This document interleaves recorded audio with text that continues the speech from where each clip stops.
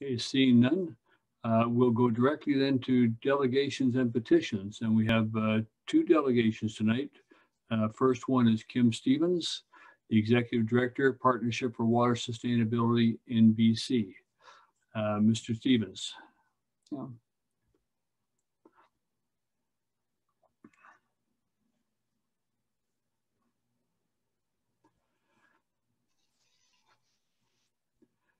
Kim, you're, I see you're no longer on mute. We can't see you, but Okay.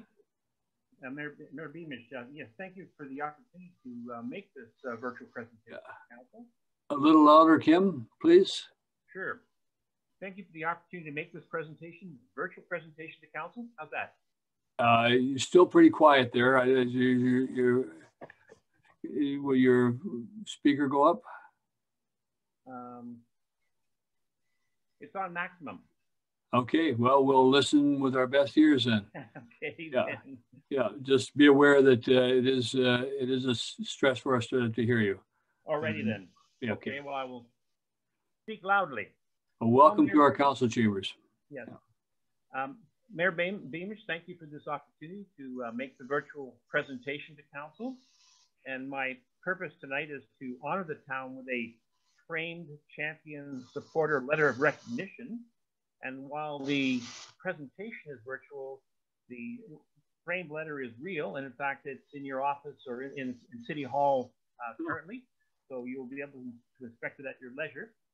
And uh, in terms of why uh, the presentation, well, uh, it's to recognize the fact that the support by the town contributes to the success of the Georgia Basin Interregional Education Initiative. And this is a unique uh, mechanism for intergovernmental collaboration.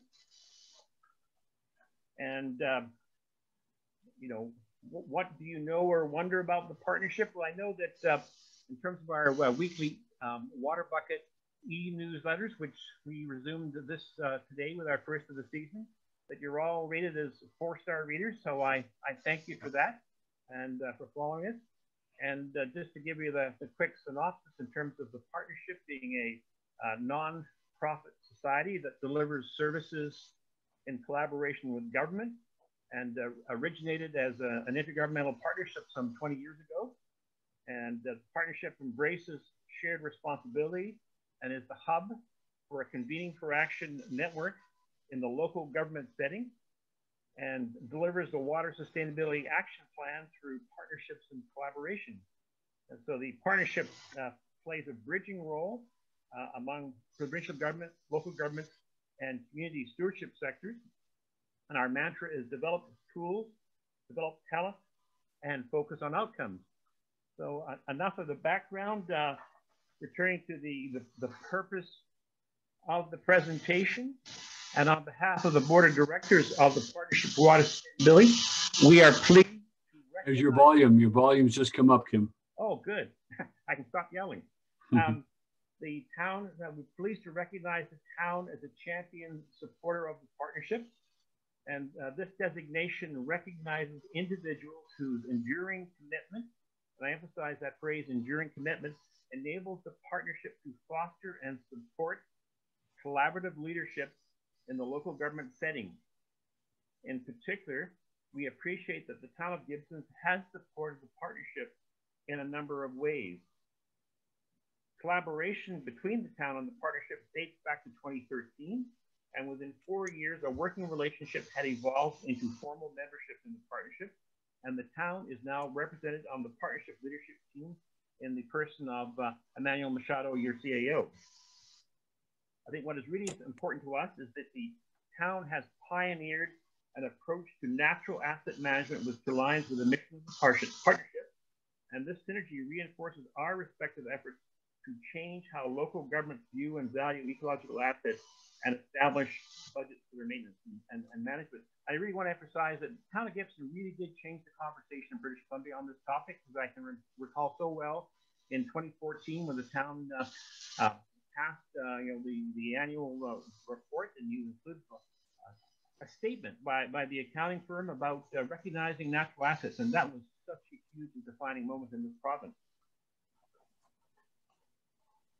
Now, a moment ago, I mentioned the, uh, the Georgia Basin Interregional Education Initiative, which is also known by the acronym I, IREI.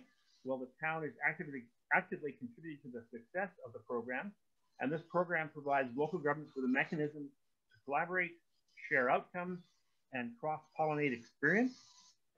And participating regions include the four regional districts on the east coast of Vancouver Island, as well as Metro Vancouver. So all in all, um, the population in, in, in, in, within the Georgia Basin represents some 75% uh, of British Columbia's population.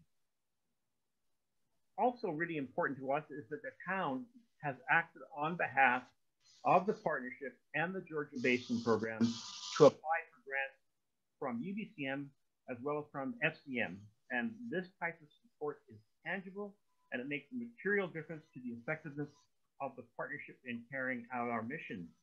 And so the, my final kind of bullet here is that the town's uh, support is a linchpin for the partnership's ability to implement our program uh, right now for mainstreaming, mainstreaming EAP, and that's the acronym for the Ecological Accounting Process. And EAP provides local governments with a methodology and metrics to calculate the financial value of land within stream setback zones. So in summary and in conclusion, uh, as a champion supporter, you are a pretty distinguished company. Uh, previously, we have recognized five regional districts and some 13 municipalities as champion supporters, and the municipalities range all the way from the town of Comox to the city of Surrey. And so on, on that note, Mayor Beamish, uh, that concludes my presentation. Kim, thank you very much. And on behalf of council, I thank you. Uh, I will accept this um, award on behalf of council, but it really it is a recognition of our staff, a recognition of the work our CAO and our staff have done in this very important area. Uh, we came here two years ago and we are continually being educated um, uh, on, in terms of uh, natural assets, natural asset man management.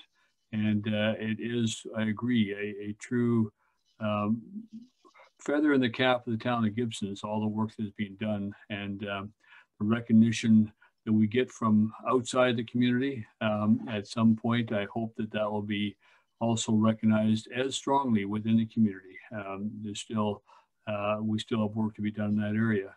Um, I also acknowledge that uh, you've got the uh, upcoming workshops on November 19th, 26th, and December 3rd. I plan to register for those and uh, look forward to that process as well. Uh, anything that we can, anytime we can learn more about uh, natural asset management and what is happening in other areas is valuable to us all. So thank you also for the work that you do and in uh, your programs.